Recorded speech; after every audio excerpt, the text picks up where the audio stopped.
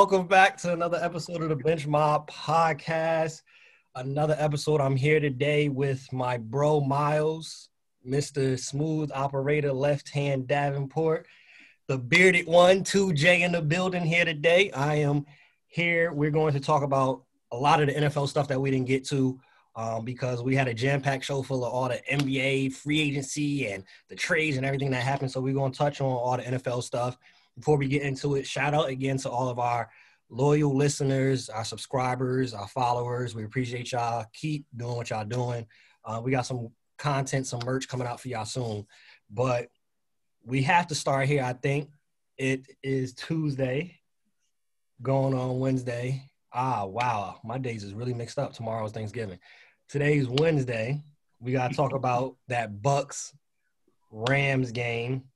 Rams beat Rams beat the Bucks 27-24. A lot of people did not per se see it being this close and did not see Tom Brady playing the way that Tom Brady played. What were some of y'all takeaways from uh, this Rams Bucks game? Um, well, I'll be honest with you. Uh, you know, after after the game, I wasn't really surprised at how it went. You know, Tom Brady, he's his his age is catching up to is catching up to him. You know, um, his he was relying on too much. Like all you gotta do is get pressure on Tom Brady, and he's he's pretty much an average quarterback. You know, as as crazy as that might sound, but you know, I wasn't really surprised. The, the Rams defense is is is tough. So, you know, um, I would be honest with you. I, I thought it wasn't as close as a score showed. Um, but like I said, I, I wasn't really surprised. You know, the Rams was the better team overall. And you know, I think Tom Brady's kind of trying to force feed.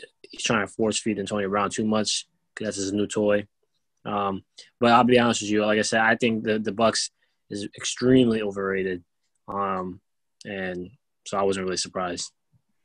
Yeah, it's crazy how like Tom Brady just doesn't play well against these good teams on this team, especially coming into the season. They were looked at as like a Super Bowl contender, and I mean, they're not really beating the teams that they're gonna have to face down the down the line. So, I mean, he has all the weapons. He's got AB, Godwin, Mike Evans. That that one touchdown was crazy, but I don't know. He's just not getting it done. And like you said, it could be the age.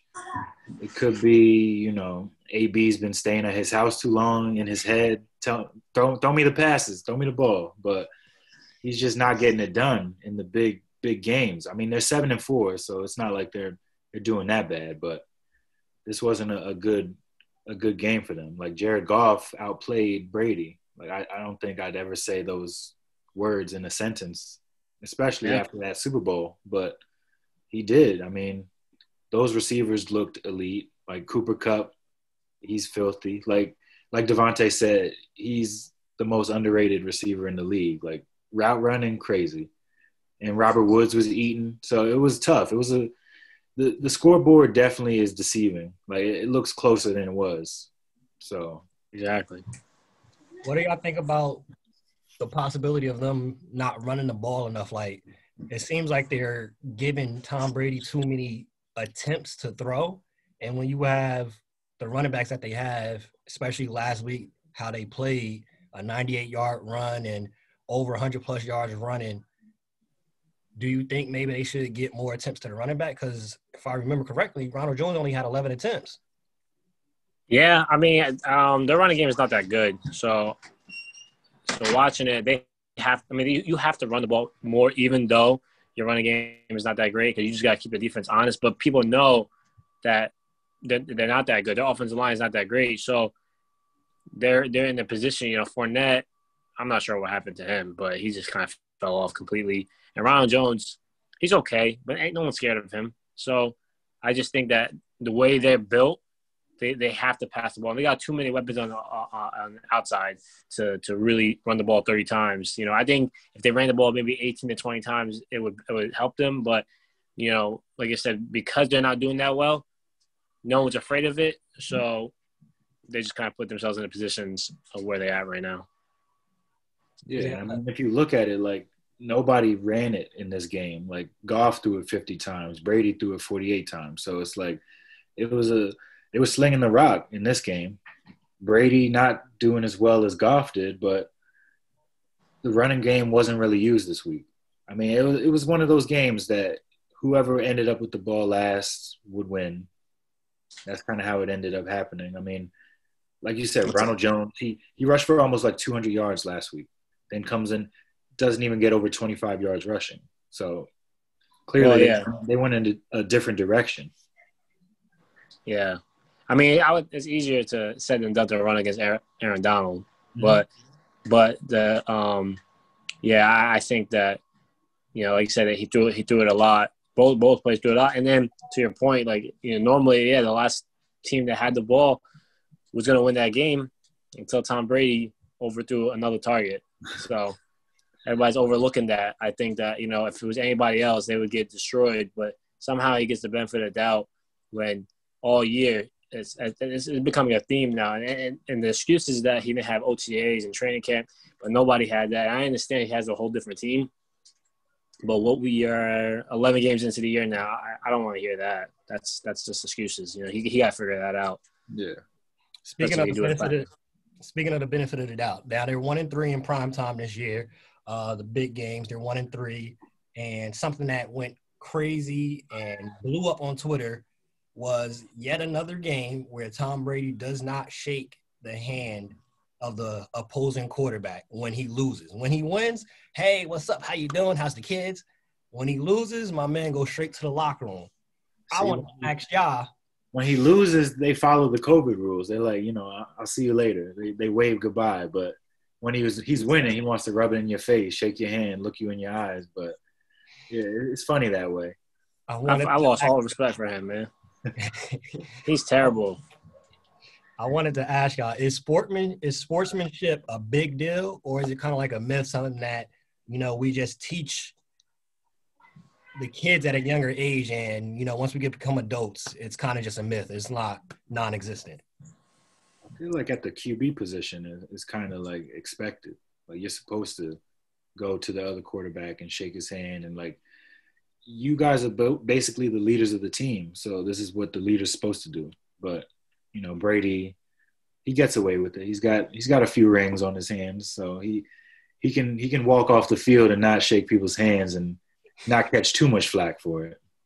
Look, see, I think no. First of all, as a quarterback, especially, you know that's they always show the quarterbacks and the coaches that, that the main people they show at, at, at the end of the game shaking hands and it just bothers me. Look, LeBron's done it a couple times. I don't really care for when he does it, but it's a little different when it's known, you know, because difference with basketball, you know, they do it each every player. But like Tom Brady, it's so obvious, and I think he said something about he doesn't have relationships with Nick Foles because he didn't, he didn't do it with Nick Foles and he didn't do it with um, Goff. But when he beat Goff in the Super Bowl, he did do it. So yeah, he he he. You know, I was watching uh, a talk show and they were talking about how he's like he's a he's a big sore loser, but that's that's such an easy cop out I think because that's just it's just wrong. You know, play kids is watching after looking after you, you know, watching the games and they look up to you. So I just think that the message that you're sending is basically it's okay to to act like a you know a, a crybaby when you lose, you know, um, and then when you win, you know, that's okay. So that's that's when it's okay. That, that's just a, a wrong message that he's sending. Yeah, I think it's uh he gets away with, like you said, because it's the rings. Like I think we see this also, and this probably be a whole other episode. But when you see Tom Brady, when you see Peyton Manning, they get mad. They start yelling on the sideline. It's okay. They're they're champions. They're just trying to galvanize the troops. But when you see a, a Chad Johnson, a Terrell Owens do it, are they OBJ? OBJ. Are they not just being passionate? Do they not just want to win? Also, why is the narrative different when it comes specifically, I'm Tom Brady. Tom Brady could yell and scream and spit in somebody's face and be throwing his helmet, and it's like, oh, look at that.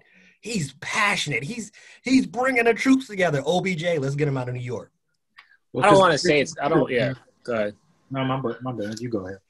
No, I was gonna say I don't want to say it's a race thing because it, it, it, it, could be something. Because you know, if, if Cam Newton would have did what, what happened yesterday, all day they would have been talking about it and, and, and, you know destroying him. So I think it has something to do with race, honestly, and also yeah the ring thing. But again, does that that's, that's a, still a wrong message you're sending just because you you have you know ten rings. It doesn't give you the right that when you lose you don't know how to handle yourself. You know, so like uh, someone said, nobody likes to lose. So it's not that when you lose and then they go shake the person's hand that they're, they're like, oh, I'm okay with losing. No, that's just that's it. You competed, you shake hands, you move on. You know, and especially if you're shaking hands with a guy before, that's just you know that I don't know. That just rubs me the wrong way. You could look at it like that, but I also look at it like, you know, you see Tom Brady, he's won pretty much his whole career. And then you look at OBJ, he's been on teams that he's doing this and they're not necessarily winning games. Like he's made the playoffs, what, once in his career? So that's where it looks like you're demonstrative, you're doing too much. Like Tom Brady, when he's doing it, it tends to work out where they, they end up winning or it, it actually helps the team. Like OBJ, it, it becomes a distraction because he's doing it to like hype up the team. But if they're losing, then it looks like, oh, this guy's all about himself. That's how I see it. Yeah, I mean, I think that's faulting him though because he's on a bad team. Like if OBJ did it on the Patriots or you know the Saints or any of these good teams, I don't think that they would look at it that way. Like it just looks that way because they're losing, but it's not his fault. You know, he's a receiver, so he, he as a quarterback, you have more control of winning, winning or losing. You know, the receiver, you know, obviously he can only do so much. So I think that it's it's easy to say for Brady that oh well you know he, you know he's won so when he does it he's doing it for the right reasons. It's it's not fair for OBJ because he's doing it because he's frustrated and you know whether he's not getting the ball or not or whatever the case may be. So I just think that it's easy to find excuses for Brady to justify his actions. Um, you know, because like I said, whether he's winning or not, he's showing up his teammates. So, you know, it, you know, so I, I, think it's the same thing, but they just happen to end up winning because he's on a better team. Yeah, I think that I was about to say that too. It's kind of tough for players like OBJ, players like To. We're mentioning wide receivers. It's only so much the wide receiver, the running back, the defensive back. It's only so much they can do. That's why when you hear quarterbacks, you be like, all right, they had a, a record of 50 and 24 you don't say that about any other position. You feel me? So it's like you don't ever be like, oh, Rondé Barber had a record. Nah, you're talking about the actual quarterback, what their record was, um, and that's kind of what comes with being that quarterback. Like you're the, you're the leader of the team, you're the face of the franchise more times than not, and whether they win or lose, it's going on your record. I could be Jerry Rice. He won rings, but I could be Jerry Rice, and we could go two and fourteen. But if I had 120 catches, you're not asking what my record is. You're looking at the stat line. You feel me? One of the other games that was huge in regards of people didn't know how it was going to uh, turn out. There was a lot of mixed reviews. Taysom Hill ends mm. up starting for the Saints. He does serviceable. He wasn't, you know, we're not going to say that this was a Hall of Fame type of night and he should have been starting his whole career. But they come out, win the game 24 to 9. What were your takeaways from this game and Taysom Hill starting over Jameis? Like, is this an indictment on Jameis that hey, this might be the end of his his chance to be a starter in the league? I just think he's more like Taysom Hill's more familiar with the offense. Like he's been there for how long? Like four years now, 5 mm-hmm. years. So he's like he's been a gadget player, but he's also been taking those QB reps behind Drew Brees. So I think yeah, they made the right choice with Taysom Hill. I don't know many people who are going to choose Jameis to come in and you know take over for Drew Brees and have that much confidence in him. Like I, I didn't know what Taysom Hill was going to do, but when you look at the stat line, it, wasn't that bad. Like they used him kind of similar to how I thought they'd use him. Like had him running a lot. He had two rushing touchdowns. He didn't really take that many chances downfield because that's not the type of QB he is. He was he was giving giving the ball a lot to Michael Thomas. So they, he did enough to win the game. That's that's all they need him to do at this point because right now they're hoping Drew Brees comes back at some point this year. I mean, he's got like 11 broken ribs. That's that's gonna be tough. But I mean, Taysom Hill didn't look that bad. It was the Falcons though, but we'll see how he does this next week. So I will say I'll start by saying I am a diehard Saints fan. So so I might be a little biased here, but, but um, I'll be honest with you. I, I love Taysom Hill. I mean, I love everything he brings to the table. So I wasn't really surprised at all that they, they used him um, to get the first crack at the starting job. Because, like I said, he's been on the system for four years. You gave him 21 million guaranteed. Um, you know, you have to see what he what he can do. Um, Jameis, I think.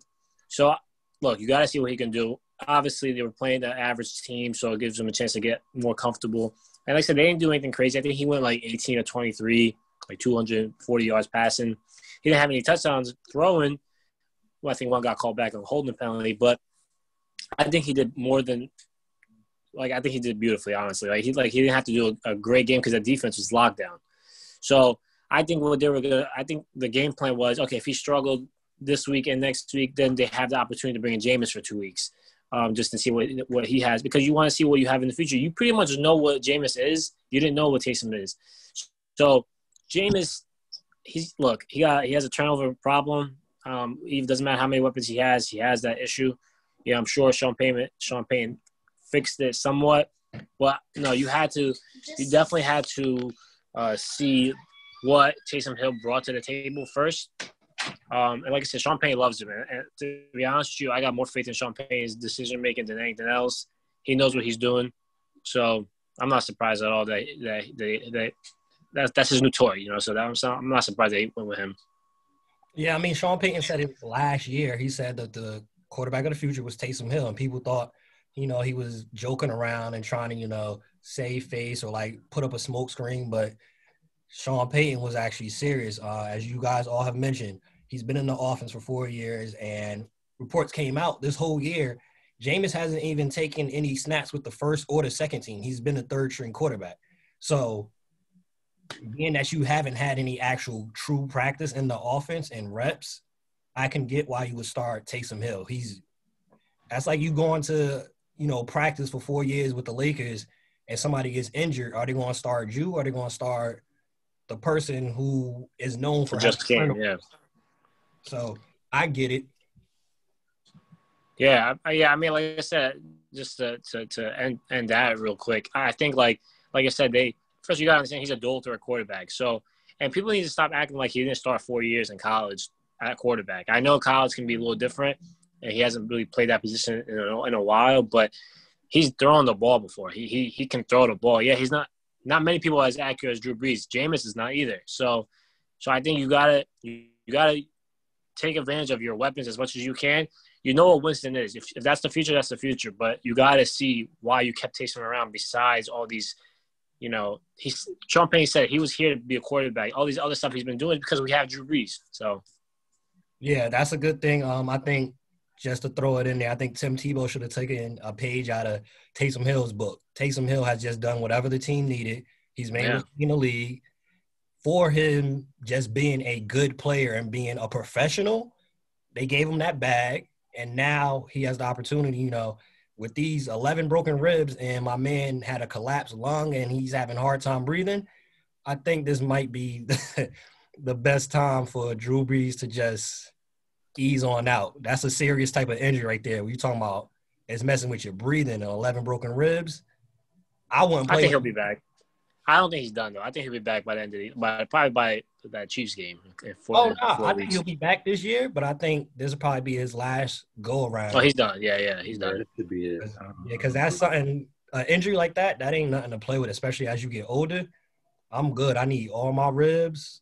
I need. Yeah, yeah. And his his wife and kids is probably like, all right, that's yeah. Hey, pops, bring bring it home, yeah. Uh, exactly. We have to talk about it. Uh, the conversation of quarterbacks has kind of been the theme so far of this show. The Ravens lost. Lamar Jackson performance was not stellar. Um, we've had conversations before over and over on the show talking about how it seems like the league has caught up to Lamar Jackson. What were your takeaways from this game? And are we looking at the Ravens now possibly not either getting into the playoffs or, or do we even see them as a, a serious contender? If Lamar Jackson is playing this way, I don't know. We might have to rethink the Ravens even being a threat this year in the playoffs. It's too predictable. Like, you know that it's like a run pass option, and when they pass it, it's right in front of the line of scrimmage. Like, they don't take any shots downfield. Literally take. They don't even use Hollywood Brown. Like he he's had games with no catches, no targets, and then he's like the fastest guy on the field. Like they're using Willie Snead like he's Michael Thomas out here, I, and I don't understand it. Like Lamar, he looked good last year. It could have been, you know, the offense was new to the whole league and nobody knew what to do with it. But this year, he doesn't look that good as a quarterback. So he's taken a huge step back, like a couple steps back this year. Because when they're down, I've I've always said this, like when they get down, they have no chance because this is not an offense that can get into shootouts with teams. They're not a, the type of team to come down and score quickly. They're not like the Chiefs and Mahomes. They're the type to like grind it out, run it like 40 times. Lamar throws it what 25 times in the game, and you just hope the defense plays extremely well. Like I don't know with this team at this point. They've lost what? This is three in a row. Yes, yeah, I think they're six four now.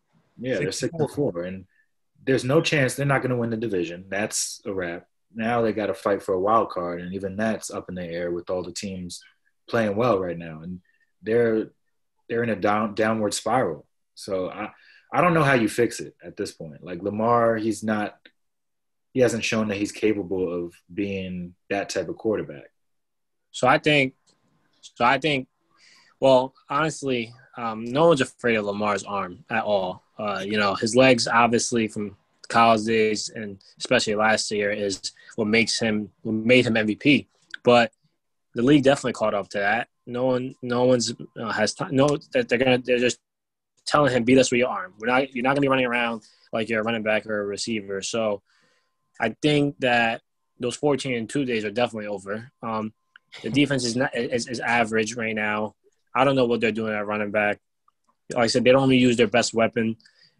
You know, like you said, Hollywood Brown is the fastest player on the field most most games, and Lamar has an arm. So I don't understand why they don't just chuck it um, and then see what happens, or just try to figure out how to use Hollywood Brown in different packages. But no, yeah, Lamar. Look, the Ravens might still make the make the playoffs because of that extra playoff spot they added this year. That's the only way that they were going to make it, honestly, because of that. But there's a lot of good teams. There's a lot of teams that are in that six and four range, so they got their work cut out for them. Um, but if they do kind of sneak into the playoffs, it's just going to be the same thing that happened Tennessee last year. I mean, in Baltimore last year when Tennessee beat them. Um, until he gets to, I'm not saying it can never happen, but he's got to get more accurate. Um, we, so we understand he's elusive, but his accuracy is the only way he's going to get that. First of all, the only way he's going to get the bag that Mahomes got. Maybe not nowhere near that, but just in general, he's got to become more accurate. Otherwise, they're not going nowhere. Do you think this puts a damper on teams drafting these quarterbacks now that are dual threats that aren't as accurate? When you look at Lamar, you look at uh, Kyler Murray. Um, do you think they, you know, maybe they take a different approach? Like we want the dual threat quarterback, but they got to be more the air on the side of having like a, a Mahomes who we saw last week. It was a couple times where he could have ran it, and on that last play, he decided to use his feet to get time to throw it to Kelce. Now, if we saw that with Lamar Jackson, we probably would have saw him actually try to run that or throw a pick. I mean, look, I told somebody the other day, I think Kyle Murray is better than Lamar Jackson. So yeah. if, if you take an dual threat like that, because obviously there's two different versions of dual threat. So I think like Mahomes, well, that's that's just a special breed. But putting him to the side, I think between Lamar and Kyler, the big biggest difference is Kyler's accurate. He's actually really accurate, and he's as elusive, maybe maybe a little bit quicker than Lamar. You know, because he has like the quick feet kind of thing. So if you're gonna get a dual threat quarterback, Kyler is the kind of dual threat you need. Not not Lamar, because because like I said, Kyle, people are afraid of him when he passes the ball. They're afraid of him more when he runs, but they don't let him pass. You know, Lamar, they, will let him they'll let him rock for 30 attempts, and, and they'll live they'll live with those results, but not Kyler. Anything you got your take on that, Miles? I mean, y'all in the market. He's a Jets fan, by the way. Jets. Uh, I'm sorry about that. I'm sorry about that, and don't ruin uh, Trevor Lawrence's career. Draft somebody else.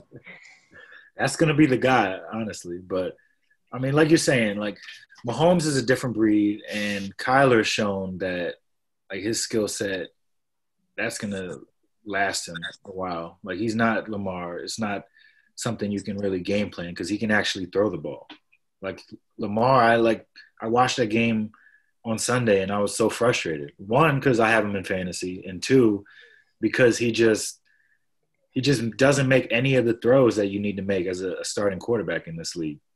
Like that's the difference between him and Kyler. Like Kyler, I mean, that was luck, that throw to D Hop, the week before, but sometimes you need that. But even before that, he's been playing extremely well and probably having a better season than Lamar had last year because he's he's almost leading the league in rushing touchdowns this year, which is insane. That's yeah. Which, yeah, that's crazy. So, yeah, definitely I would take Kyler Murray over Lamar at this point. I don't think it's close. And I hope for the best for Lamar, but I don't I don't believe in his skill set lasting that long anymore because this is not high school football where you put the best athlete at quarterback and just let him do whatever he wants to do. Like this is the NFL and everybody can run just as fast. So yeah, um, we'll see what goes further on with the career of Lamar Jackson. I think another thing that you're look into, like we mentioned, the Ravens might have to change up their approach, their game plan. Um, maybe we can say that they're not putting him in the best position to win now because they're still kind of trying to play that offense from last year and the league's caught up. So now I then look at the head coach and the offensive coordinator like, all right, what are y'all doing to change up the game plan because it's not working? So, hey, figure out how to use Hollywood Brown. Bring somebody maybe that's another talent as a wide receiver. I think it's a dual thing where you got to look at the play calling and you got to then look at Lamar. Like, hey, we know what we have as our quarterback. He's not as accurate. What can we do to put him in the best position to succeed? Somebody that was put into the best position to succeed also last week was America's team, the Dallas Cowboys. Stop. I told you I'm not a fan of nobody this year. I, I don't like nobody this year. Dallas Cowboys. The season's not even halfway over it's it's a little halfway over, but you already quit on your team. I don't get it. You're still in the that's hunt. terrible. Yeah, that's, that's terrible. terrible. Hey Jay, I quit on them week two, so it wasn't week two. I quit. I, I, I get well, I get it, but that's that's terrible. I mean, he, he's rocking with an 0 10 team. I mean, so I don't know. well, hey, I'm. Hopefully, this is the last time we don't win a game. After I don't want to. I don't to go through that abuse. That's a lot of personal abuse to watch these games week by week.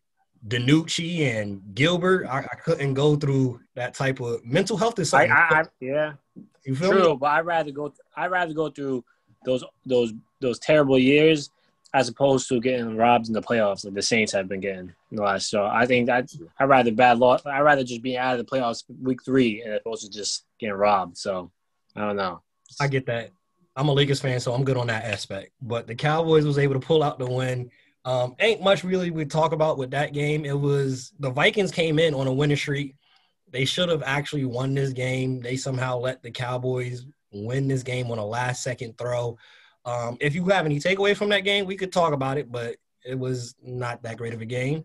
But I want to talk about how, how terrible the NFC least is. Now we're looking at the NFC least we got the Eagles at three, six, and one, the Giants three and seven, Washington and the Cowboys are at three and seven. Who are y'all picking to actually come out of the NFC East? Nobody. Nobody. It's kind of fun. That nobody's allowed to be in the playoffs. Yeah, it's fun though. I think. I think who, bad and they're like still in it. Like yeah, division. You know, you know what's you know what's crazy that the fact that they're gonna get whoever wins it is rewarded with a home game. Like I just think like I mean I know right now maybe there's no fans, but that's that should be that shouldn't be allowed. Like yeah, you make the playoffs fine, but they shouldn't be allowed to. You shouldn't be allowed to host a playoff game at five and eleven.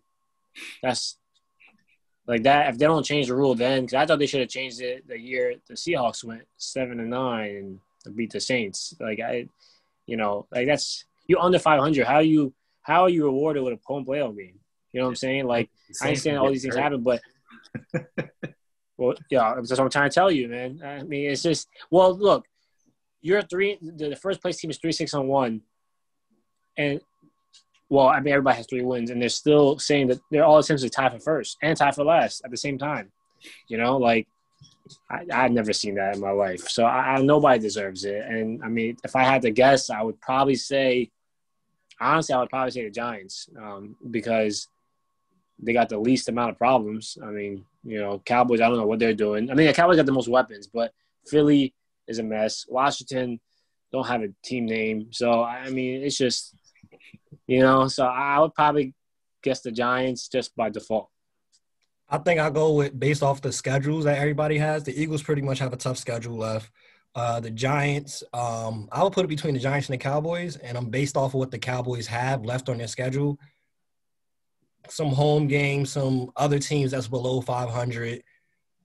I think the Cowboys probably going to squeeze in there, and that'll be a typical Cowboys type of thing to make it to the playoffs, get a home game. Jerry Jones talking crazy, like we have a chance to make noise, and then they lose in that big arena. I think this is this would this is literally a Cowboys type season. You're terrible. They make the playoffs, they get confidence, and then lose. That that would be that would be a Cowboy season right there. That that would just be every year with them, underachieving. They somehow get into the playoffs and don't do anything. Miles, somebody that you know you used to losing as of late. Who do you think is able to pull out this? Uh, I think the Cowboys. I think they they they found their franchise quarterback in Andy Dalton. It looks like so. now, now they're gonna ride the red the redhead into the playoffs. So I think they're gonna piggyback this win into some more wins. So it doesn't take that much to win this division at this point. I think six wins could get it done. Cowboys could get that in the next few weeks if they, you know, play like they did on Sunday. They played a little hungrier than they have all season, so we'll see. That'd be real 2020. The Cowboys win the Super Bowl at six and ten. I hope. I'll never, I'll never, I'll never watch football again. Uh, I promise you, if that happens, it's curtain. They got the Eagles, uh, Giants, 49ers, Bengals, and the Ravens on their schedule for the rest of the uh, rest of the year. Outside of the Ravens, everybody else is pretty much a, a kind of a pick'em game. 49ers are riddled with injuries. Joe Burrow just got injured for the rest of the year. Eagles, Carson Wentz. It's a lot of uh, yeah, it's a lot of middle school quarterbacks I've seen that probably could have a better position. And then they finish off the season with the Giants. So I think just because of their schedule, they'll probably be able to get in. Um, we're going to transition for this segment. Start bench cut. Out of the quarterbacks that are struggling this season, I want to know from each of y'all who are going to start, who are you going to bench, and who are you going to cut? Sam Darnold, Daniel Jones, or Wentz, we just mentioned. hmm. Start bench cut.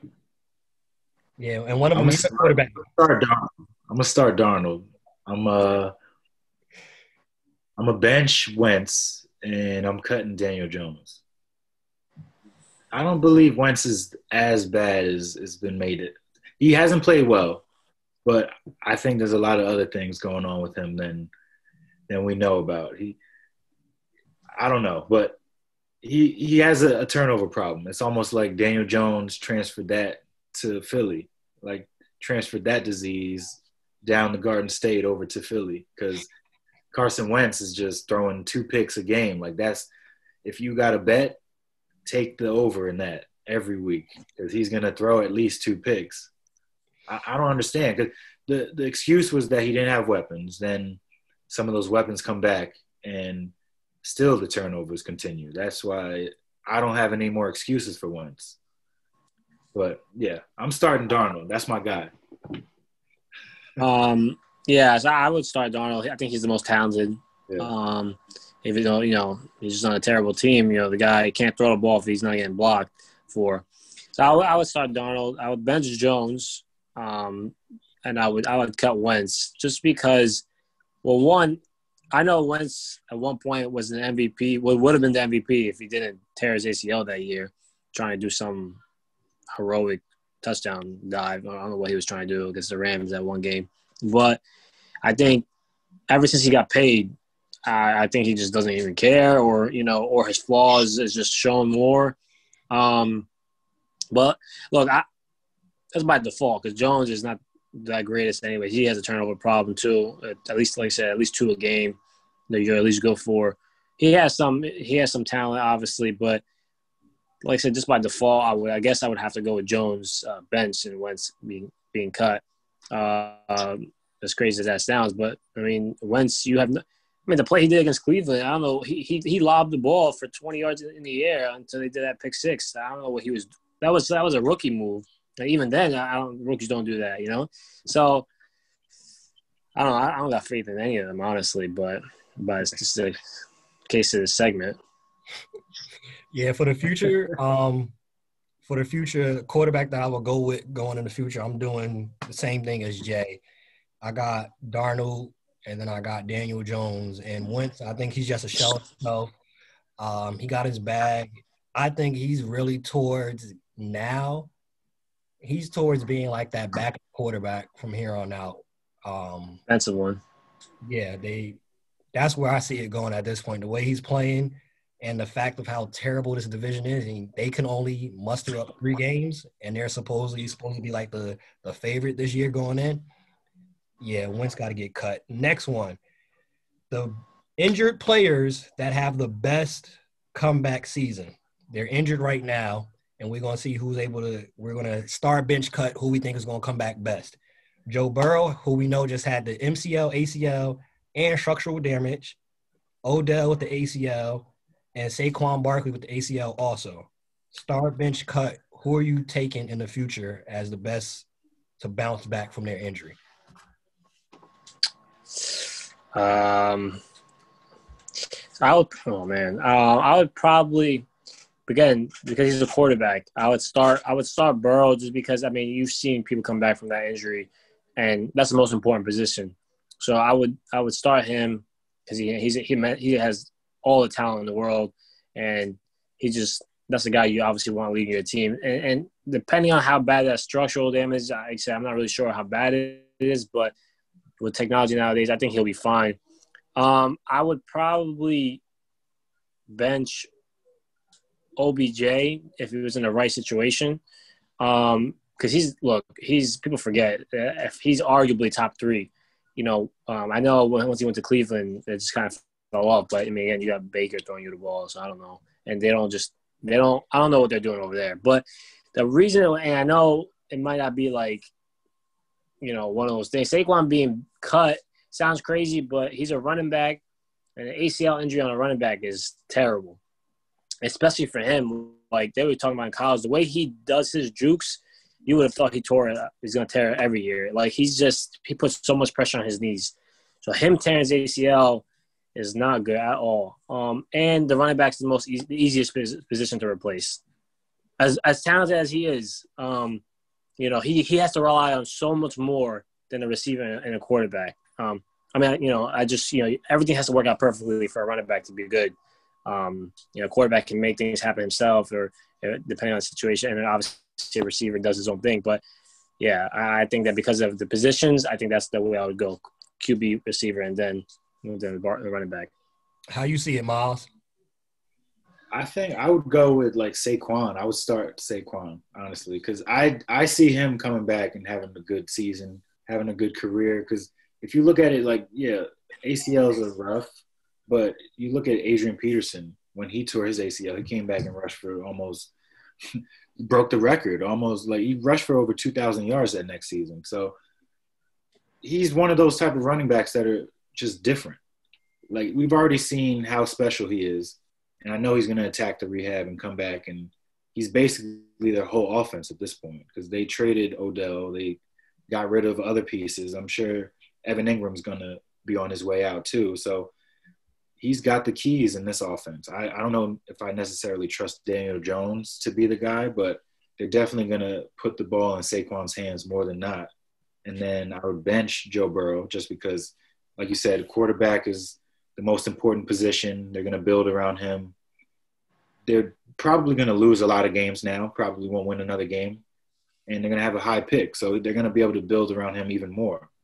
And Odell, at this point, I have to cut him because I don't know if he's injury prone, but he's been getting hurt probably, I think, three of the last four years. He's he hasn't finished the season. So it, it could be because of where he's been. Like Cleveland is not one of the places I would want to be, but that's the position he's put himself in. And I don't know. He could be on the move again after this year, but it's not looking good because he was on a trajectory that was one of the like elite starts to your career, and now he's kind of tailed off. None to his fault, but like injuries happen. He's got a terrible quarterback. I don't know. I don't. I don't trust Odell as much as I used to. Only thing I would caution with Saquon, you made a great point with Adrian Peterson, but with Saquon, is he going to have people to block for him next year? Because that offensive line in New York, both offensive lines from both teams, Jets and Giants, my grandmother could probably block better than some of them. So I don't know. Saquon, if I'm him, I'm a little concerned coming back to not, I'm not having nobody block for me. You saw that the first game of the season he had what 19 20 yards? And you know people was having conversations like oh did Saquon lose a step? He ain't had nobody block for him. As somebody that pays attention to the NFC East Saquon arguably was like the most explosive talent in that division. And anybody knew at any point he might have 20 yards going into the fourth quarter but he might break for a 50 yard run easily so I think they got to shore up that offensive line for him I feel like they will though, because one, they're gonna have a new GM next year. I don't think Gettleman's gonna come back because he's god awful. Some of the things he's done terrible. So the the next GM's gonna come in see the offense, knowing that you need blocking in this league. You can't have an offense without blocking. They're gonna go after that, whether it's in the draft, probably a first round pick, free agency. I mean, hopefully they they pick better than Nate Solder, who's he's terrible, and they're paying him. But but but like you know, they said that the last few years the problem is you can say the draft and everything like that, but when's the last time they drafted a good offensive lineman? And they're always they have been they've had top picks. You know, Ereck Flowers and Andrew Thomas has been bust completely. So I think like, you know, if you're in Saquon, do you even have faith that they're gonna get somebody that that is good? You know, they got developed them. I mean, they keep swinging and missing. I think by the by the averages, they they have to swing and hit on one of these picks. But that's just another year wasted uh, as a running back, and and again, they had the shortest shelf life. So, you know, obviously he can't really make any demands right now. But I wouldn't be surprised if he's if he's not there. But if he doesn't get a new contract with them, or they end up trying to trade him, just because you're just you're wasting the man's career. You're gonna keep drafting all, all these offensive linemen that are not good. And like I said, they there there were good offensive linemen the last couple of years. They just picked the wrong guy. Mm-hmm. Next next question. Um, we saw we already talked about it. The Rams was able to pull out that win. Uh, Seattle able to beat the Cardinals. They they have three teams in that division that easily could make it to the playoffs. That easily are in the conversation to be a Super Bowl contender. Who do you start, bench cut, in regards of winning that division. Seattle at seven and three, the Rams at seven and three, and the Cardinals at six and four. I'm going with personally. I'm gonna start the Rams. Yep. I'm gonna bench the Cardinals, and I'm cutting Seattle because that defense is abysmal, and you can't rely on Russell Wilson to save the day every day. This is not Kansas City. Like Kansas City's defense isn't per se the most elite but you got Patrick Mahomes. Give him a minute left on the clock. I'll take my chances. Yeah, I, yeah. I agree with the Rams. You know, I, I, would start the Rams. That defense is really good, and I mean, Jared Goff just has to be good enough for them to make the playoffs and make a run.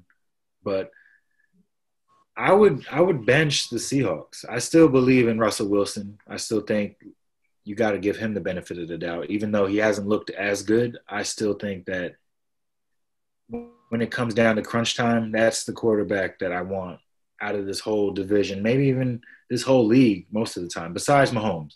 I would want him in my locker room and on my field playing for me because he just knows how to get it done and knows how to win. And this year it's been tough because that defense is I don't even know what to describe. You got to get the man some help. He's by himself. Yeah. That Great defense needs that defense needs some milk, bruh. They're, they tried. They tried Jamal Jamal Adams, but that didn't work out. Um, I thank the Seahawks every day that they made that trade because that was so dumb. That didn't help. Yeah. That didn't help them any bit. Like At all. it was a They got- safety. they might have got worse. Yeah, they got worse because he's not like that type of safety. He's a box safety. He's not a cover safety, and we've seen that now. It's on display. He's in the worst defense in the league, and you're on Front Street right now. And on you a want good team. Yeah. contract. Yeah, so he was complaining about being on the Jets. Well, all right, now you're on the worst defense in the league. So have fun. And it's on public display. I, think definitely the Rams, uh, in my opinion, you start. They're just the most complete team. Um, you know, Jared Goff just doesn't. If he just game manages, they'll be fine. Um, their, their running game is okay, but the defense is definitely um, the best in the division. Um, and they have obviously weapons on the outside for receiving. Um, I would definitely say I would bench Arizona. Again, they're more complete than Seattle you know, for you know, you might you might say Russell over Murray, that's fine. Um, but they got DeAndre, and I know Seattle has DK, but that's not the same. Um, you know, running backs, I would probably you know give it to uh, when they're healthy. I guess I would give it to Seattle, but then you just go back to the, the defense, and Arizona has a, a way better an actual defense. Um, so. You know, I think that Seattle, Russell has to do too much to win the game. And if he doesn't do it, you see when he, he presses. Um, so and they lose, and you know, they turn over, they turn the ball over and stuff like that. So I would I would say that Seattle would be the odd man out just by the fact that they don't have a defense. Now we have Thanksgiving's tomorrow. We got some Thanksgiving games coming up. We're gonna go with those picks real quick. We already know Baltimore versus Pittsburgh is being postponed because of COVID. So it's only be two games tomorrow. Houston and Detroit. Detroit always is on Thanksgiving, and Dallas is always on Thanksgiving. So Houston and Detroit, who do you see winning that game? Who's your pick on that one? Houston. I mean, Mm. It's a Matt terrible game. Stafford, yeah, Matt Stafford's like banged up. Kenny Golladay's not even gonna play. I don't think Swift is playing either. Yeah, he's got he's coming off a concussion. We don't know what what that whole thing is. I just think Deshaun he gets it done. He always finds a way to get, even though they're pretty bad this year. He finds a way to make the games close at least. And against the Lions, I don't know, they're not that good to me. So You don't believe in Adrian Peterson? Is he, Well, he's not even playing. if you asked me that ten years ago, it would be easy. But Or you're now- five. Yeah, now I don't I don't believe in him as much. In the other game, Washington and Dallas. I'm picking Dallas. Uh, as we Wonder why? I wonder why. Yeah. You know, can they just fast forward tomorrow? Because the games are just terrible. Um, yeah. Uh, I would say Houston is definitely better than Detroit, um, even though Houston's record is terrible. Like they don't even keep their pick, so that's I don't know. They, they, there's no point losing for them. They might as well try to win games. Um, but um, I would say, I guess I would say Dallas, but really can't underestimate Washington because that they got three wins too. So you know, it's a division game. It, it can go either way. But who's supposed to win that game is Dallas. But I'm gonna go the other side. I'm gonna take Washington honestly because I got no faith in Dalton or Jerry Jones for that matter. I think it's safe to say. I think it's safe to say we won't be locked in on any, either of these games. I was looking forward to that Baltimore Pittsburgh game, but these two games, yeah, th- this is not going to be the year to sit at, sit at the TV and eat and watch. Not these games. You might turn on a movie or something like and check. Oh, I'm gonna watch. I'm gonna watch that uh, Fresh Prince reunion. To be honest with you, I'm not. I'm doing anything else but watching those games. Our last couple of star bench cut is Thanksgiving season. Thanksgiving is tomorrow, so we're gonna have a little fun with Thanksgiving food, which is one of the biggest things outside of, of course, the list of things that we can be thankful for. Thanksgiving meats, star bench cut, turkey, honey baked ham, fried chicken. I'ma go. Turkey is trash. It's trash. You have to then deal with the leftovers for two, three weeks trying to figure out what to do with it. It get dry. I'm gonna go start honey baked ham, bench fried chicken, and we're going to demolish. Not even cut. We're demolishing turkey. Like put that in a a, a fire somewhere. That's how I'm going with it. What's y'all take on it? Sheesh. I'm I'm going the same way. I don't even have to say anything. I, I hate turkey. I don't even look at it on Thanksgiving. So I was gonna replace it with stuffing if I could. Do it. That's not meat. Yeah, I know it's not meat. There's meat in there a little bit, but yes, I guess. um. Well, well, look. By default, I have to I have to cut honey baked ham because I don't eat pork. But I will say, um, between the two, look, I'm not the biggest fan of turkey where I'm like I'm, I'm craving it or anything like that. But it's you know it's one of those things that you know I, I well look we we deep fry turkey, so I don't know if that makes it better or not, but that definitely helps. Um, so I would definitely put that one. Look, I love fried chicken, trust me, but I can have that any day of the week, and that's like a regular thing. So that I would I would cut fried chicken. Um, but look, I'll, I'll, if I could, I'll eat both of them if it's possible. But yeah, um, it means we gotta pull up to your spot for a plate because deep fried turkey. Now, yo, let me tell you something. That's a whole nother conversation from that's turkey. Once you deep fry turkey, you don't go back to the regular stuff. That, exactly. You gotta find the right people to deep fry it because I've had it before, but everybody don't do that. Deep fried turkey. It's dangerous. It's dangerous. Exactly. It it definitely is dangerous to cook and it's dangerous in your mouth. That junk slam your mouth. I'm telling you. Mm. Deep fried turkey, it make deep fried turkey is the Chiefs. Turkey is the Cowboys. Put it that way. Exactly. Or the Jets. I was trying to I was trying to spare spare the feelings on that one. Oh no, we can't do there's no sparing. I have to log off on this one. Last one, Thanksgiving dessert. Mm. Pumpkin pie, sweet potato pie, banana pudding. Mm. I was mm. so me personally. I mean, if it's a season, I would go pumpkin pie, but I love banana pudding, man. I'll, I'll start banana pudding. I would, I would bench uh, pumpkin pie, and and the last one was actually I don't like sweet potato pie, so that's, that's out. That's gone. Cutting sweet potato. That's out. Miles. I'm starting pumpkin pie. Uh, I'm benching sweet potato, and then I'm, I'm cutting banana pudding. I'm, what? I never been the biggest fan of that. That's terrible, man. Yo, how you like your banana pudding? I don't. I don't like it. That's the. I'm point. not asking you. I'm not. Asking yeah, we know you don't like it. look, man. I mean, look. I'm not really picky when it comes to banana pudding, but when I when I do have it, you know, we got the, the wafers, um, you know, uh, unlimited amount of those, and, and, just obviously like you know the the the banana cream is just. Mm, I, I mean, like I don't really know what how when they make it, how they do it. I just know when it's on the plate, it's not on my plate for long. Are in sweet potato pie. Um, benching banana pudding and pumpkin pie gotta it gotta go, bruh. I I'm pumpkin pie. Heck no. Sweet potato pie every single day of the week. Look, I'll say this: if it was pumpkin cheesecake, then I was starting that all day. Oh, see that now we now we talking about something different, just like the turkey conversation. I'll have yeah. pumpkin cheesecake. That that's elite right there. That's next level. Right Bringing fancy desserts to the to the table. Sweet potato. You gotta, do it, you, gotta, you gotta do it right. well, this has been another fun episode of the Bench Mob Podcast. We thank y'all for tuning in. Make sure you subscribe. Make sure you share this. It's Thanksgiving time. Make sure you watch this with your family. Share it with your cousin, your baby mom. Even if you don't like us, share it with everybody. Um, y'all know the vibes. Stay ready. You ain't got to get ready. Enjoy y'all Thanksgiving. Stay safe out there. Peace. Peace.